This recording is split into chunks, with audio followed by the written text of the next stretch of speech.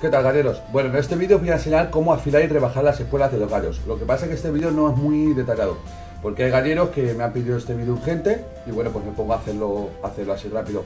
Haré otro vídeo un poquito mejor. Eh, lo que yo uso es el afila espuela, que lo podéis comprar en aficiongallera.com y va, esto va perfecto para afilar y rebajar las espuelas. Bueno, eh, a muchos galleros eh, les, gusta, les gusta muy de cuerno, a otros muy recta. Yo estoy entre los dos, ¿vale? Ni muy, ni muy cuerno ni muy recta. Y, nada, después de hacer esto habría que afilarla con, con la lima.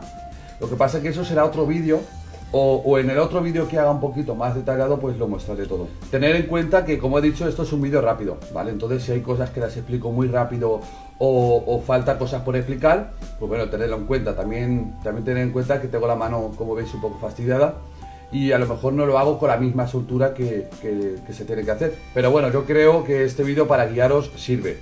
Eh, como os digo, haré otro vídeo mucho más explicado, mucho mejor, limando las espuelas y todo, todo un poquito más detallado. ¿Vale? Espero que os guste este vídeo. Un saludo, galleros.